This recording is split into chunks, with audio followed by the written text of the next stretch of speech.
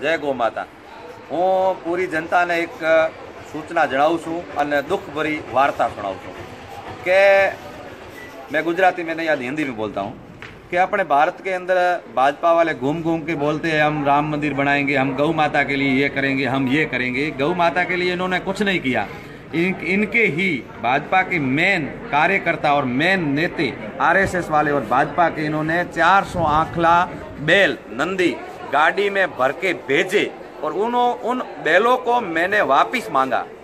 मैंने खुद ने वापिस मांगा और सरपंच को फ़ोन किया, भाई, वो बैल आपने कहाँ भेजे?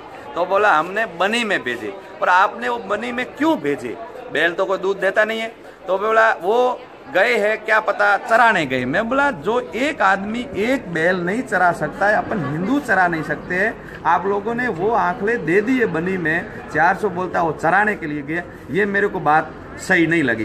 तभी मैंने उनका विरोध किया और उनसे मांग की, भाई, वो बैल मेरे को वापस दे दो। मैं मेरी गौशाला में रखूँगा, कहीं भी रखूँ, पर वो बैल गलत जगह नहीं जाना चाहिए।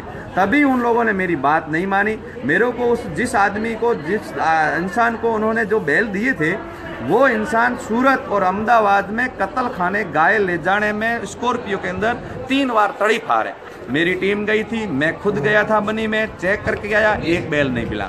तो फिर उनको मैंने शंभू भाई आहिर को फ़ोन किया, तब उन्होंने मेरे को जवाब नहीं दिया। तब मेरे ऊपर बाबू भाई आहिर करके मैं संघ का आदमी हूँ, आरएसएस का मेन आदमी हूँ। मेरे को उन्होंने फ़ोन किया और मेरे को एक घंटे फ़ोन पे बहस हुई, उन्होंने मेरे को दबाने की फुल कोशिश की। हम ये कर देंगे। मैं बोला, आपको मेरे को मारना है तो मार दो, उससे मेरे को कोई फ़र्क नहीं पड़ रहा है। मैं एक साधु हूँ, मैंने कफन बाँध लिया और गाय के लिए मैंने संन्यास लिया है। तो मैंने उनको बोला, उन्होंने ये नहीं मेरे को जवाब दिया, हम आपको बैल दे रहे तभी मैंने उनको ये बोला कि मैं एक भाजपा में हूँ, आप भाजपा में और आरएसएस का और भाजपा का ये काम है। तो मेरी ये मेरे को ऐसी पार्टी में रहने से कोई फ़ायदा नहीं है। आज की तारीख में जो बोलते हम गाय के लिए करते, ये लोग गाय के लिए कुछ नहीं करते। जो एक साधु को जवाब सही नहीं दिया और साधु ने बोला, वो बैल हमको दे दो। उन्होंने नहीं दिया और सीधे कत्ल खाने गए। मेरे ऊपर हमला किया, मेरा आश्रम तोड़ा 40 से 50 लाख रुपए का नुकसान हुआ। ये भरपाई कौन करेगा? ये नरेंद्र मोदी जी, आप सुन लो। ये बैल मेरे को वापिस चाहिए, नहीं तो ये साधु आपको ले डूबेगा। पूरे भारत में पार्टियाँ साफ़ कराऊँगा।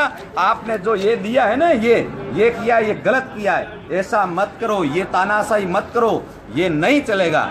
जय जय गो माता, जय हिंद।